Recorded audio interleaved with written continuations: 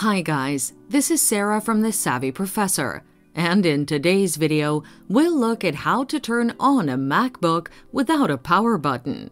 Stay tuned to be equipped with the hacks to do this and safety cautions to keep in mind.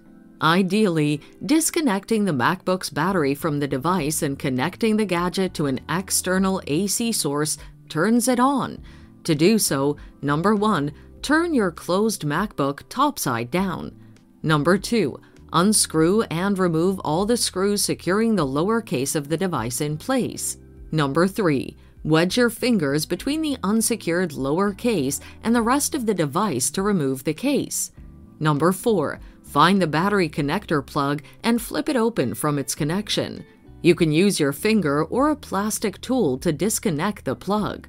Number 5. Wait for some time, say 20 seconds, before reconnecting the battery back in place.